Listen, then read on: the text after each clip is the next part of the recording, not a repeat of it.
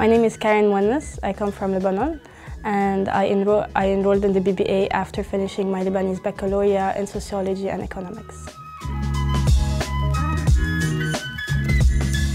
I chose it after I saw how hybrid the program it is. It's actually a unique uh, program, the first in France, and it was a program that illustrated the vision I wanted uh, for my career in the future.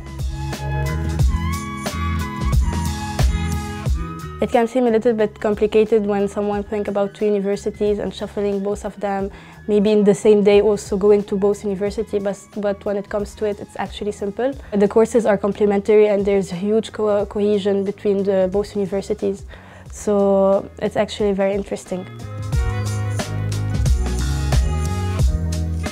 A typical week in the BBA is maybe spending the morning courses uh, in, at Audencia, more management, uh, business-related courses, and in the afternoon uh, at Centrale was more technical and uh, data-related courses. It's a week uh, divided between both universities, but uh, very complementary also. In 10 years, uh, I would see myself maybe in the tech industry working in a job that is uh, as hybrid as my program is, and a job uh, with, um, with a management position but as well data related uh, position.